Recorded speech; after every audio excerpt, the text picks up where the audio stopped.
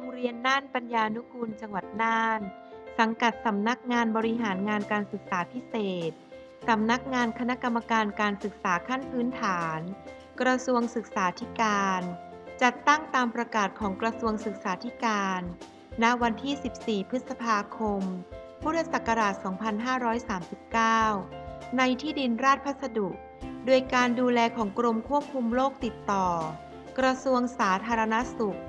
มีพื้นที่ 80 ไร่ เปิดทำการสอนในปีการศึกษา 2540 ตั้งแต่ระดับชั้นอนุบาลปีที่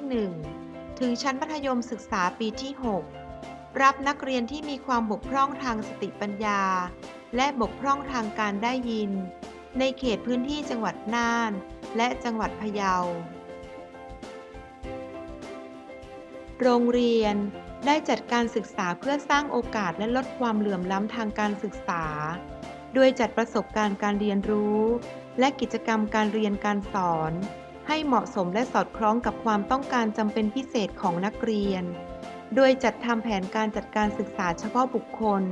และแผนการสอนเฉพาะบุคคล เพื่อให้นักเรียน มีทักษะทางภาษาและการสื่อสาร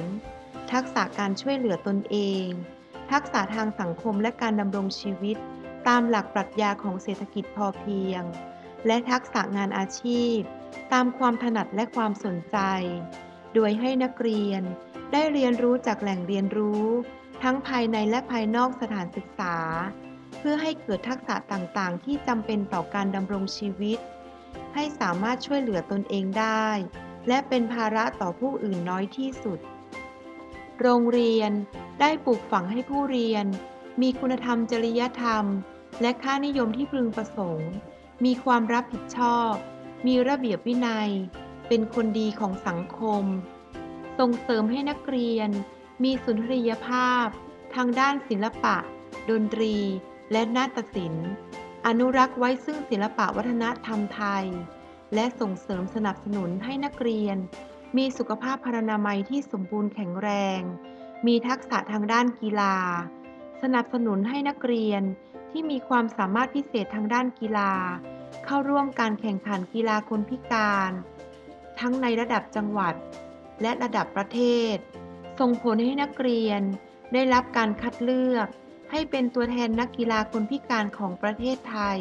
เข้าร่วมการแข่งขันในระดับนานาชาติ